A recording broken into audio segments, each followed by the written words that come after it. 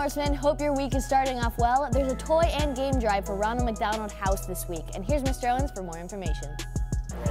This week is a VHS drive, and ASB is collecting uh, board games, video games, uh, personal uh, travel toiletries, things like that that will go to tweens and teens at the Ronald McDonald House. A lot of young people have to spend time in the hospital as they get better or at places like the Ronald McDonald House, and they don't have a lot of access to games and entertainment things to do.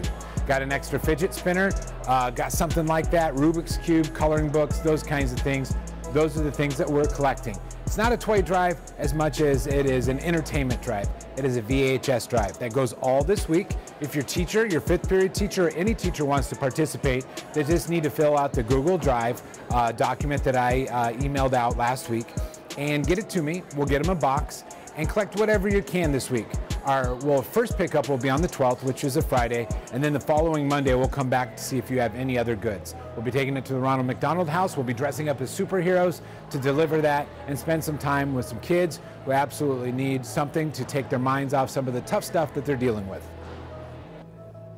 This Friday marks the second Rocktober Showcase and expect to see some talent on the East Lawn stage. We'll turn over this news flash to Daniela to talk about the controversy over locked doors.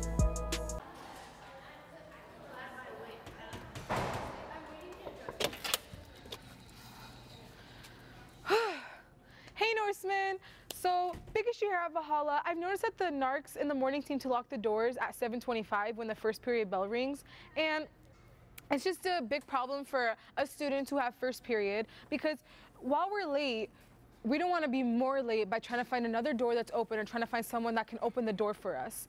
So this can affect um, our uh, tardy tardy records, our GPAs, etc. And it's just a big issue that we need to get a resolution to.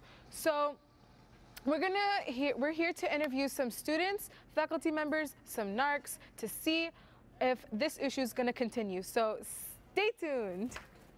What's your opinion on the doors being locked in the morning? Uh, I think it's frustrating because then you have to wait for someone to open it and then it just takes longer and I'm late to class. um, it's kind of annoying because I have to walk all the way around just to go and check in. It makes me really mad because sometimes I'll get here really early and I want to go to the bathroom or I want to go talk to a teacher, but I can't do that because the doors are locked. Um, I don't like it. It's really annoying because we have to be outside and we have to like walk around to like go inside. And like if there ever is a door open, like the narcs would just like kick us out. Why are the doors locked in the mornings? So th those doors, um, they're not necessarily supposed to be locked. I don't know if they were locked, but we want some access. We are trying to keep students away from the quiet study area and the student center during period one. So uh, that is purposeful. Um, I think the locking occurred because we had some people that were unaware that they needed to be unlocked. Okay, so hopefully that'll get fixed immediately. What do you think first period students should do if they run across a locked door? Well, first of all, um, several of the doors will be locked. Two of the doors should not be locked. The, the door leading into the attendance office, one of those doors should be open, and the doors leading into the student center from the outside cafeteria area by the pool. Uh, if you find those locked, you can find a campus supervisor. They all have a key. They can unlock them, or you can find an administrator. They can unlock them as well. Well, guys, now you know why they lock the doors in the morning, so make sure you're not too late to class. And if you have any more questions that we didn't get to answer in this video for you, make sure you ask some of the campus supervisors that you see around the school. Well, anyways, thanks for listening and hope you guys have a great Valhalla day. To be early is on time. This is the lesson he gave to me. be on time is late. Oh my and to be late is unacceptable.